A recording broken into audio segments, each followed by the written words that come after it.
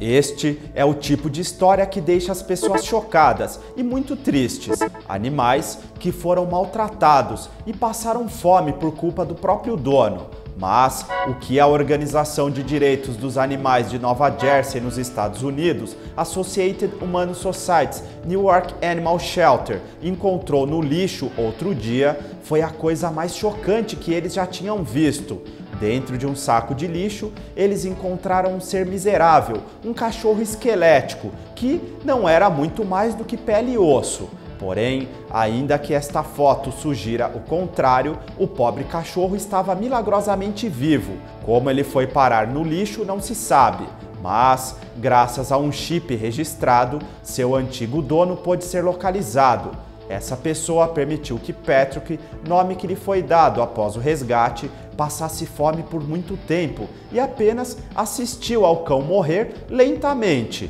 O pobre cachorro foi levado imediatamente para o Hospital Especial para Animais, pois a sua vida estava por um fio. Cães desnutridos como Patrick têm que ser reintroduzidos à comida muito lentamente, pois seus estômagos já não funcionam como antes, já que ficaram tanto tempo sem receber alimento.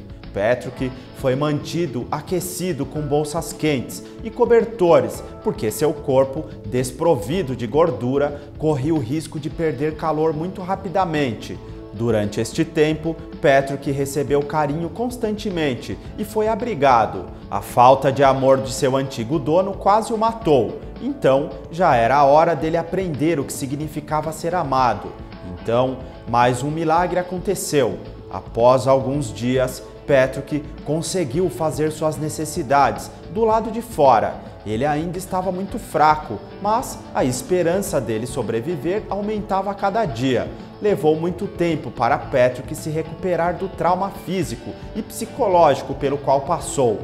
Apesar de ser amoroso, ele continuava tímido e com medo das pessoas. Hoje, Patrick é a imagem perfeita de um cão saudável, feliz e bem nutrido. Ele é alegre e aproveita o amor da mulher que o adotou. As pessoas que são cruéis com os animais não merecem estar perto deles, muito menos ser donas deles. O antigo dono de Patrick já havia sido preso por outros crimes. Felizmente, todos os envolvidos na recuperação de Patrick nunca desistiram dele. Este doce cão agora tem muito amor e aprendeu a depositar sua confiança em quem merece.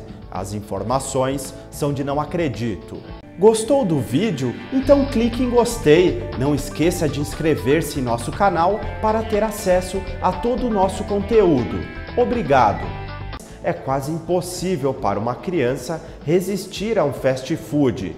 E com os filhos de Rian não foi diferente. Porém, ele não tinha condições de levar as crianças para comer um delicioso lanche.